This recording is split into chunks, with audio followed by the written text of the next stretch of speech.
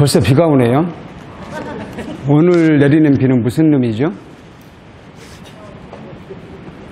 이제 내일 모레 만날 생각을 하니까 벌써 눈물이 나는가 봐요. 오늘 눈물을 좀 많이 흘리는 것 같아요. 아침에 좀 천둥 번개도 치지 않았던가요? 맞죠? 저희가 기도할 때, 기도할 때 뒤에서 뭐 우르르 꽝꽝 소리가 나더라고요. 그래서, 아, 제 기도의, 기도가 응답, 음, 기- 제 기도에 대한 응답이 오는구나. 라고 생각하면서 열심히 기도를 했습니다. 네. 칠성날. 칠성날은 어떤 날인 걸로 알고 계세요? 견우와 직녀가 만나는 날. 그래서 우리 포스터도 그렇게 만들었네요. 포스터에 보니까 견우와 직녀가 만나고 있고, 음, 음, 달을 배경으로 해서 만나고 있네요. 달을 배경으로 해서 만나고 있어요. 그리고 그 옆에는 무슨 나무가 그려져 있죠? 네, 맞습니다. 복숭아 나무가 그려져 있어요. 그래서 여러분들께 저, 저기서 제가 복숭아를 따다가 하나씩 드리겠습니다. 네 네, 감사합니다. 음. 네, 오늘은 사랑을 맺어주는 복숭아를 드립니다. 오늘 법회에 오신 분들께는 복숭아 하나씩 드리겠습니다. 복숭아를 사실 100개밖에 마련 안 했어요. 그래서 아까 시작할 때는 몇 분 안 계셔서 몇개 음, 음, 남겠다 싶었어요. 그래서 어젯밤에 제가 약간의 고민을 했습니다. 우리 원주 보살님한테 말씀드려가지고 음, 혹시 갑자기 사람들이 많이 올 수도 있으니까 복숭아 한 두어 상자는 더 준비를 해 놓으시라. 이렇게 포장은 못 하더라도 그냥 그냥이라도 나눠 드리는 게 좋겠다라고 생각을 했는데 어, 좀 맞을 것 같긴 해요. 지금 오시는 분들에게 충분할 것 같습니다. 어제 어저께 밤에 저렇게 포장을 했어요. 음? 그냥 드리는 것보다는 아름답게 포장을 해서 드리면은 훨씬 더 복숭아에 뭐 어차피 하나가 얼마나 맛있겠습니까? 네.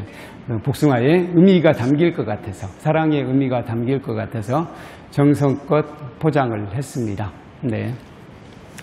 네, 오늘은 복숭아에 얽힌 이야기 한 가지 해드리고 시작하겠습니다. 제가 칠섭 날에는 항상 사랑에 관한 본문을 했었어요. 근데 그 사랑은 꼭 남녀 간의 사랑만은 아닙니다. 대처럼 사랑이라기보다는 관계라고 해야 될까요? 관계라고 해야 될 맞을 것 같아요. 좋은 관계를 유지하기 위한 본문이라고 할 수 있을 것 같습니다. 음, 복숭아에 얽힌 전설 한 가지 말씀드리도록 하겠습니다. 옛날 어느 고을에 아주 지극 정성으로 노모, 노모 또 눈먼 노모를 모시는 효자가 있었습니다. 효자가 있었어요. 그런 여자에게는 항상 언젠가는 복이 오죠. 늘 지극정성으로 노모를 모셨어요. 그런데 그때 임금이 몹시 아팠대요. 임금이 아파서 병이 쉽게 고쳐지지 않는 거예요. 그런데 어떤 의사가 음, 제 생각에는 또 돌팔일 것 같은데 음, 어떤 의사가 천도 복숭아를 하늘에서 따가지고 오면 낫는다. 나는 이상한 진단을 내린 거예요. 음? 그래서 온 백성에게 고울에 방을 붙였습니다. 천도 복숭아를 구해오는 이는 그때 또 마침 한겨울이었어요. 천도 복숭아를 구해오는 이에게는 큰 상을 내리겠다. 라고 한 거예요. 그래서 방을 붙였어요. 그 효자가 보고 천도 복숭아 아, 이 천도 복숭아를 따서 임금께 바치고 내가 효도를 해야 되겠다. 라고 생각을 한 거예요. 그래서 천도 복숭아를 따로 길을 나섭니다. 어머니를 말리죠. 이 엄동설 안에 무슨 천도 복숭아냐. 말도 안 되는 짓거리 하지 말고 그냥 집안에 가만히 있으라.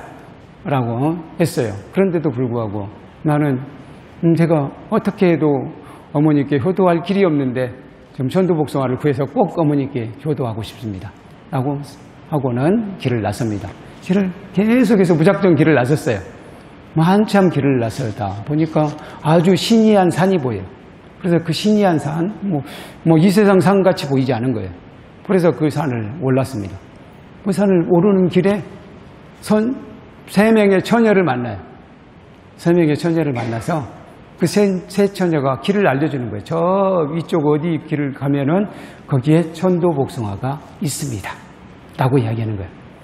그래서 그 처녀가 일러준 길을 그대로 따라서 가보니까 천도 복숭아가 진짜 있었어요.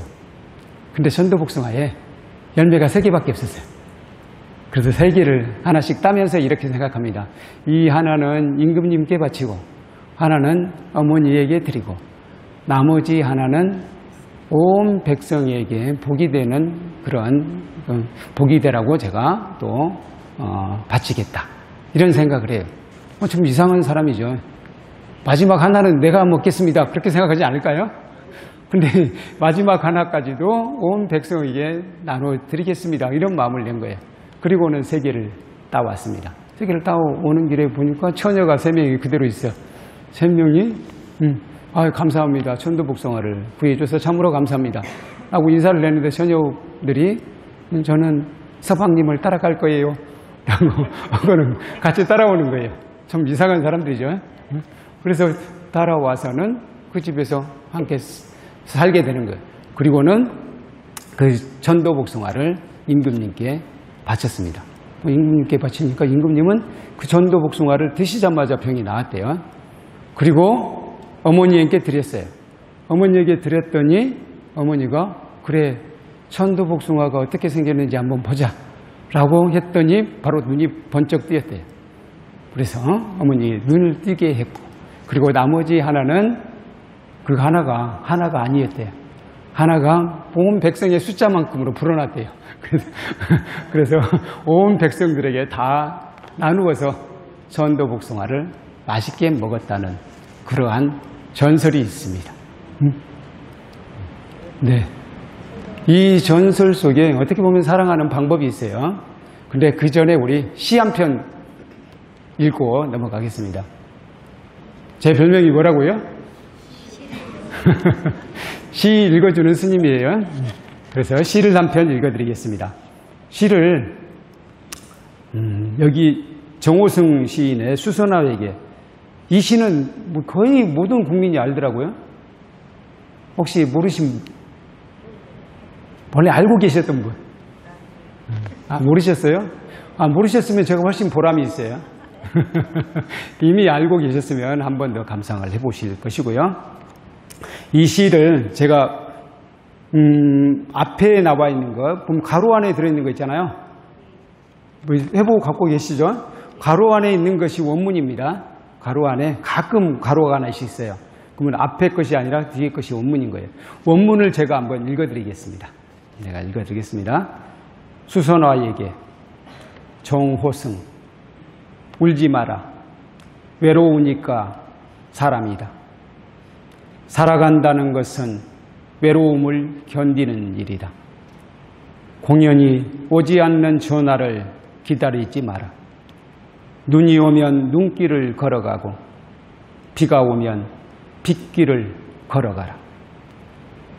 갈대 숲에서 가슴 검은 도요새도 너를 보고 있다.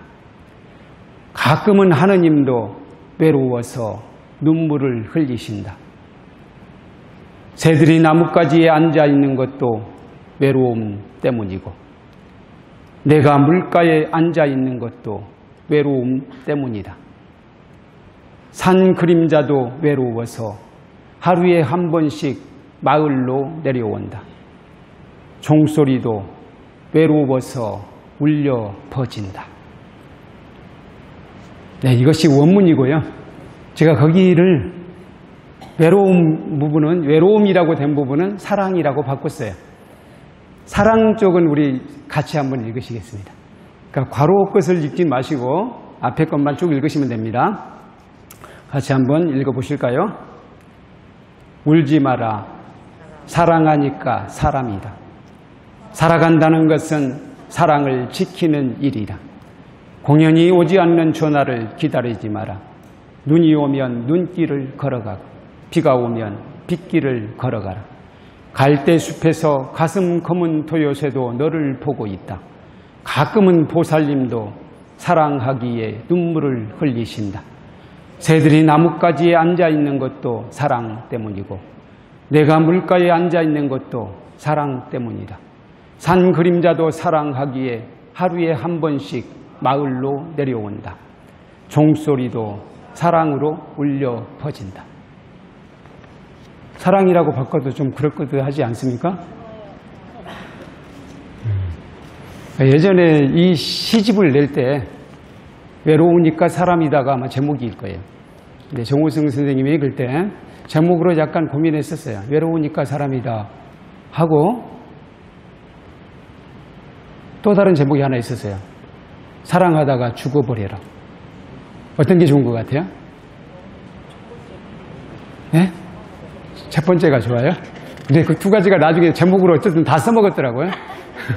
외로우니까 사람이다도 나오고 사랑하다가 죽어버려라도 나중에 제목으로 나왔습니다. 네, 이렇게 사랑이 굉장히 중요하다는 거예요. 사실 사랑이 없으면 모든 생명체는 살 수가 없어요. 어떤 생명체도 사랑이 있기 때문에 삽니다. 그래서 진짜 무지막지한 응? 사이코패스도 가만히 보면 사랑하는 건 있어요. 생명이 있는 것은 사랑이 있기 때문에 존재한다. 이렇게 이야기할 수 있습니다. 근데 그 사랑이 사실 좋은 방향으로 가야 돼요. 근데 많은 부분 사랑이 어떤 방향으로 가버려요? 그래, 맞습니다. 집착, 애착으로 가버려요. 애착으로 가면은 반대로 사랑 때문에 범죄를 저지르고, 음? 사랑 때문에 패가 망신하고 그런 경우가 생겨요. 사랑을 사실은 잘해야 되는 거예요. 사랑을 잘하는 사람은 행복해진다. 이렇게 보시면 돼요. 그래서 사랑은 사실 행복의 조건이 아니래요. 제가 아주 아주 좋아하는 영화 있어요. 영화 뭐 책 소설로도 만들어졌던 것이지만 죽은 시인의 사회라는 그 영화 한번 보셨어요? 음, 네, 그 영화는 한번 꼭 보셔야 돼요. 그 영화는 저는 인생 영화라고 생각합니다. 우리가 어떻게 살아야 할 것인지를 가장 잘 보여주는 영화라고 생각해요. 거기에서 존 키팅 선생이, 존 키팅 선생, 이분도 저와 비슷하게 시 읽어주는 선생님이에요. 근데 그분이 그렇게 말씀하셔요. 시와 미와 사랑과 낭만은 인생의 수단이 아니라 목적이다. 라고 말씀을 하셔요. 그게 무슨 말이냐면요. 시와 미와 사랑과 낭만은 그것을 조건으로 해서 우리가 행복해지는 게 아니에요. 그것 자체를 느끼는 것으로 그것 자체를 우리가 갖는 것으로 이미 행복하다. 시를 갖고 있으면 시를 느낀다면 이미 행복한 사람이래요. 미를 아름다움을 느낄 줄 아는 사람 이미 행복하대요. 사랑을 느끼고 사랑을 잘 하는 사람. 사랑해서 뭔가를 쟁취하는 게 아니고 사랑하는 것 자체로 행복하다는 겁니다. 그리고 낭만. 낭만도 있죠. 예를 들어서 우리가 바닷가를 가면은 너무 가슴이 훅 트이고 산에 올라가면 호연지기가 느껴지고 이것 자체가 행복이라는 거예요. 그걸 수단으로 해서 행복한 것이 아니라 그걸 느끼는 것 자체가 행복이다. 그래서 사랑하고 있다면 여러분들이 음, 내 자식 생각만 해도 애틋하고 그러잖아요. 좋은 마음이 생기잖아요. 방글이 웃어지잖아요. 웃음이 나오잖아요. 이런 분들은 다 행복한 사람들이에요. 네, 이런 분들은 다 그런 분들이잖아요. 내 손자, 손녀만 생각나도 생각해도 미소가 지어지잖아요. 이런 분들은 다 행복한 분이라는 거예요. 그것 자체로 행복하다는 거예요. 근데 그것 자체로 행복하다는 것을 모르고 다른 것을 막 더 추구해. 그러다 보니까 본인이 불행한 줄 아는데 사실은 여러분들은 행복한 분들이에요. 이미 사랑하고 계시잖아요. 근데 아까도 이야기했듯이 사랑이 애착으로 바뀌지 않도록 잘 사랑해야 된다. 잘 사랑해야 됩니다. 그러기 위해서는 어떻게 해야 되느냐? 여기에 아까 그분 이야기를 좀 더 하도록 하겠습니다. 아까 이 효자 이야기를 아까 했었죠? 효자 이야기. 위 임금님은 애착이 강한 사람이에요. 애착이 강한 사람이어가지고 가만히 보니까 그 아까 세 처녀 있었죠? 세 분이 이, 이 효자의 부인이 됐다 그랬죠? 효자의 부인이 됐어. 그걸 보니까 너무 아름다워. 너무 아름다워서 이 세 여자를 내가 쟁취해야 되겠다. 이런 생각을 하게 됩니다. 그래서 그 효자에게 내기를 걸어요. 내기를 겁니다. 너는 네 부인을 걸어라. 음, 나는 나는 너에게 엄청난 재산을 주겠다. 라고 이야기합니다. 그래서 부인을 걸자. 그럼 첫째 부인을 걸고 우리 내기를 하자. 바둑을 한판 두자. 그 임금님이 바둑을 아주 자신이 있었나 봐요. 바둑을 두기로 합니다. 그러니까 첫째 부인이 귀띔을 해줘요. 내가 바둑을 놓을 자리에 벼룩을 한 마리를 거기다가 딱꼭 놓을 테니까 벼룩이 앉아있는 자리에만 놓으십시오. 라고 이야기하는 거예요. 임금이 하나 놓으면 그 다음에 벼룩이 딱 앉는 거예요. 어느 자리에 딱 앉아. 그러면 거기에 바둑돌을 놨어요. 그랬더니 임금이 꼼짝 못하고 졌습니다. 그래서 첫 번째 부인은 쟁취하는데 실패. 그럼 두 번째 부인을 위해서 또 이제 내기를 겁니다. 두 번째, 두 번째 부인을 쟁취하기 위해서 임금은 뭐라고 하냐면 새로 된 말구유, 수십 마리가 한꺼번에 먹을 수 있는 새로 된 말구유를 만들어 와라. 하룻밤 사이에 만들어 오라. 라고 이야기합니다. 그러니까 부인, 둘째 부인이 이야기합니다. 당신은 그냥 평범한 말구유 하나만 만들어 보세요. 음, 나무로 만들어 놓으면 제가 그것을 새 말구유로 둔갑시키겠습니다. 라고 이야기하는 거예요. 그래서 만, 딱 만들어 놨어. 그러니까 그냥 편히 주무세요. 내가 하룻밤 사이에 그걸 새 말구유 엄청나게 크게 만들어서 크게 변형을 시켜서 새 말구유로 만들어 놓겠습니다. 라고 얘기해요. 그래서 그냥 뭐 부인 말만 듣고 편히 잠들었어요. 그럼 그 다음날 아침에 딱 일어났더니 정말 엄청나게 큰 새 말구유가 딱 마련이 되어 있는 거예요. 그래서 두 번째 부인 쟁취하는 것도 실패. 세 번째 임금이 이제 진짜 꾀를 내요. 온갖 꾀를 내 가지고 이번에 진짜 어려운 문제를 냅니다. 어떤 문제냐면은 말하는 물, 물이 말하는 말하는 물을 하고 웃는 꽃을 만들어 와라. 라고 하는 거예요. 이건 못올것 같죠? 응? 그래서 또 세 번째 부인에게 가서 이야기합니다. 어, 당신을 두고 이런 내기를 걸어왔는데 이건 도저히 풀 수 없을 것 같소이다. 라고 이야기해요. 그러니까 부인이 걱정 마세요. 응? 서방님은 푹 주무시기나 하세요. 라고 해요. 그래서 하룻밤 푹 자고 일어났더니 그 다음날 역시 물병 하나 오고 딱 꽃다발을 하나 주는 거예요. 근데 꽃다발은 꽃다발을 마주치잖아요. 꽃을 마주치잖아요. 그러면 꽃이 방긋방긋 웃는 거예요. 그리고 물은 따르면은 말을 해. 따르면 뭐라고 하냐면 그만 그만 그만 따라라 그만 따라라 그만 그만 그만 하는 거예요. 그래서 임금님한테 그걸 딱 가져갑니다. 가져갔더니 임금님이 그거 물을 따르는 거예요. 물을 일단 꽃을 마주치니까 방긋방긋 웃고 있어요. 그러니까 이건 합격. 그 다음에 물병에 물을 따랐어요. 따랐더니 이 물이 그만 그만 따르세요 그만 따르세요 계속 그러는 거예요 그만 따르라고 해도 임금님이 재밌으니까 재밌으니까. 그리고 아무리 따라도 멈추질 않는 거예요. 계속해서 따르다 보니까 대궐이 물에 잠겼어요. 물에 잠겨서 대궐은 그냥 호수가 돼 버렸습니다. 호수가 돼서 임금님은 어디로 가셨을까요? 호수 속에 수장되셨어요. 그리고 그리고 우리 이 효자는 집으로 돌아와서 아주 행복하게 살다가 마침내 하늘로 올라갔더라 라는 그런 전설입니다. 이 전설 속에서 우리는 사랑하는 방법을 생각해 볼 수 있습니다. 첫 번째로 사랑할 때는 사랑할 때는 오직 순수한 마음이어야 된다. 여기에 조금이라도 잡념이 들어가고 욕심이 들어가면 사실 안 돼요. 근데 우리들이 자식들에 대한 사랑 대체로 아주 아주 순수하지 않습니까? 뭐 그렇지 않을 경우도 있겠죠. 근데 대체로 순수합니다. 어떤 대가도 바라지 않는 순수한 마음으로 자식들을 사랑합니다. 그런 자식들과의 사랑은 그래서 대체로 잘 이루어지잖아요.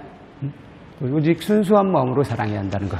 두 번째로는 얻은 것이 있으면 항상 회양하는 마음을 가져야 된다.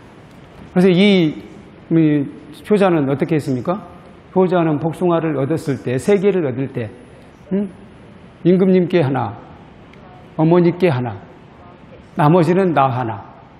이게 보통 사람들의 마음인데, 진짜 사랑을 잘하는 사람의 마음은 그것을 마지막 자기 몫, 자기 몫은 챙기지 않고 그걸 만인에게 돌린다는 거예요. 그렇게 회양할 줄 안다는 거예요.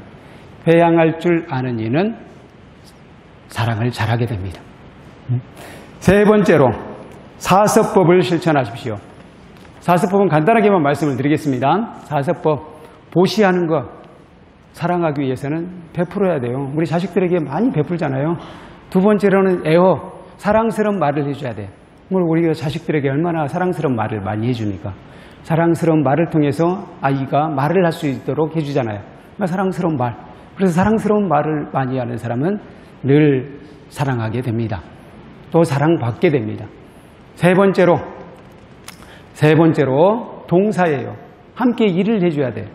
함께, 뭐 우리 예를 들어서 우리 직원들이, 직원들이 열심히 일하잖아요. 사장님이 직원들하고 같이 그 일을 해줄 수 있어야 된다는 거예요.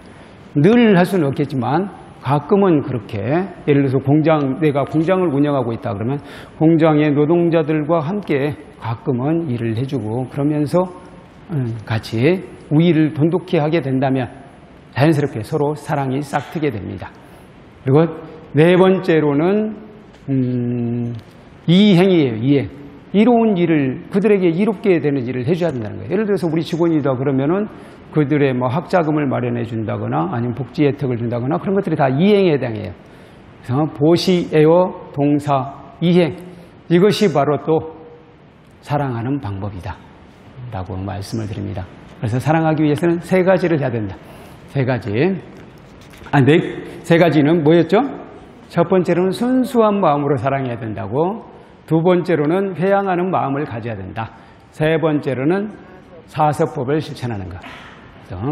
사랑을 잘하게 되면 당연히 인생, 그것 자체로 인생이 행복하다라고 말씀을 드립니다. 네, 마지막으로 우리 어, 시는 제가 안 올렸네요. 뭐, 시한 편이면 됐죠. 제가 시를 한 편을, 선시를 한 편 생각해 놓긴 했는데, 아, 그 선시는 제가 밴드에 올렸으니까 밴드로 참고하시기 바랍니다. 네, 오늘은 사랑을 맺어주는 복숭아를 드립니다. 라는 주제로 말씀드렸습니다. 네, 이번 7석 3일 기도로, 기도를 통해서 다 사랑하는 방법 잘 배우시고 또 사랑을 하시고 사랑, 사랑을 얻으셔서 부디 행복하시기 바랍니다. 네, 감사합니다. 마반야바라미.